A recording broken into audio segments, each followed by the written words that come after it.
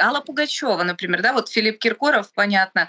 Но вот э, мне кажется, Алла Пугачева — это пример достаточно удачной пластики на восьмом десятке. Мы знаем все, сколько Алле Пугачеве лет, видим, в какой она форме, э, видим ее э, лицо, и иногда даже кажется, что сейчас она лучше выглядит, чем тогда, когда пела песню Орликина, да? Конечно. А, Я вот, с вами согласен.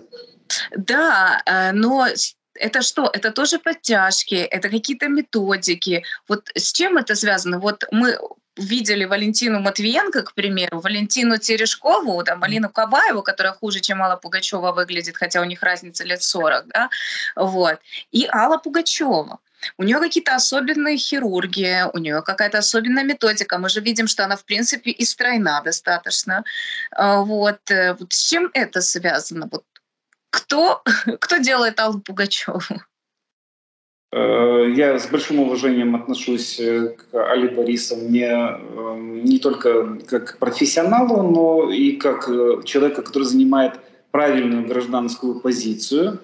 Вот. И, э, но мне очевидно как профессионал, что, конечно, без пластической хирургии тут не обходилось. То есть, причем, я думаю, что количество операций, которое было выполнено, наверняка уже перешагнуло за два десятка. Uh-huh. И причем я думаю, что операции по подтяжке лица там, наверное, ну, скоро приблизится к десятку. Там штук 5 или 6 э, подтяжек э, за все это время было проведено. Я помню, были и не очень удачные примеры, когда она подтягивала лицо, но последние, которые она сделала, они выглядят очень естественно и очень впечатляюще. Я видел такие результаты.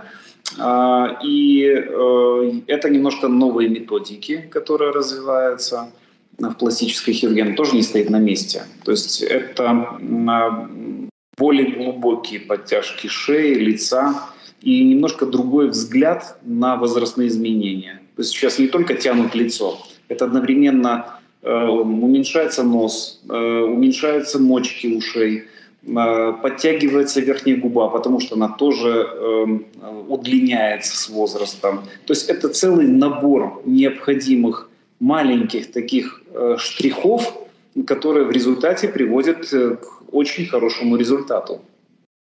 Да, ну и э, стоит отметить, что Алла Борисовна, она артистка э, в первую очередь, она не чиновник. И э, артистам это, ну не то что простительно, но это такой must-have, да, мы все помним Шер, э, да, как выглядит Шер, к примеру, вот, и Алла Борисовна.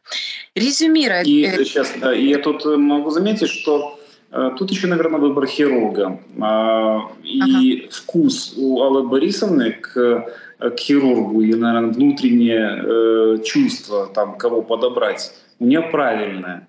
Ведь э, когда приходит человек на, на пластику, это должен э, быть э, какая-то синхронизация, то есть должен какой-то быть резонанс. То есть когда хирург понимает, э, что хочет пациент, и, и пациент понимает хирурга, взаимное доверие.